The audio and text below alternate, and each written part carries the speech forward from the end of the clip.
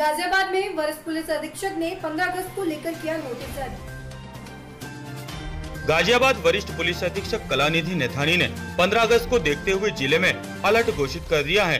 Police कप्तान ने ज़िले की सीमाओं को भी सील करके चेकिंग करने के आदेश दिए हैं। आपको बता दें कि स्वतंत्रता दिवस को लेकर प्रदेश के डीजीपी ने समस्त जिलों के कप्तानों को अलर्ट मोड पर रहने के निर्देश दिए हैं।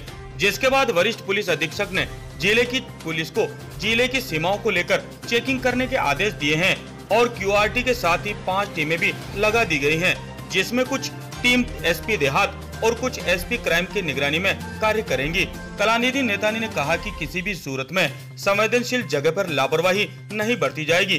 ज़िले की आसपास की सीमाओं को भी चेकिंग पॉइंट बना दिया गया है। हर आने जाने वाले की चेकिंग करके ही ज़िले में प्रवेश दिया जाएगा।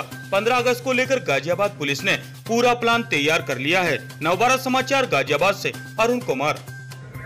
स्वतंत्रता दिवस के दृष्टिगत जनपद में विशेष सतर्कता के लिए सभी को आदेशित कर दिया गया है। जो स्टैंडर्ड ड्रिल है और जो आदेश हर वर्ष जो स्टैंडर्ड प्रोटोकॉल के अनुसार जारी होते हैं वो आदेश जारी कर दिए गए हैं। दो क्यूआरटी का गठन भी किया गया है। एक एसपी क्राइम के अंडर रहेगी, जिसमें as team bomb disposal squad dog squad और अन्य हमारे इंटेलिजेंस की टीमें सादे परिधानों में भी रहेंगी। ये क्यूआरटी टीम जो सार्वजनिक स्थल हैं वाटर इंस्टॉलेशन से उनका विशेष ध्यान रखेंगी। दूसरी टीम हमारे एसपी लाइंस के अंडर रहेगी और ये रिज़र्व टीम रहेगी जो एक स्ट्राइकिंग फोर्स का कार्य करती है।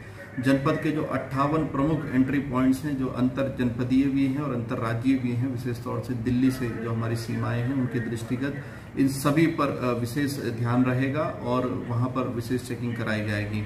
ड्रोन कैमरों के प्रयोग के लिए आदेशित कर दिया गया है। वहीं जो हमारी अभिसूचना इकाई है उसको अत्यधिक सतर्क रहने और चेकिंग आदि करवाने के लिए भी कह दिया गया है। और होटल, ढाबे सराय सिनेमा हॉल, बस अड्डा, रेलवे स्टेशन और इन इस तरह की जो जगह जहाँ पे चमावड़ा अक्सर रहता है और एनोनिमिटी का फ़ायदा लोग उठा सकते हैं, ऐसी जगह पर विशेष सतर्कता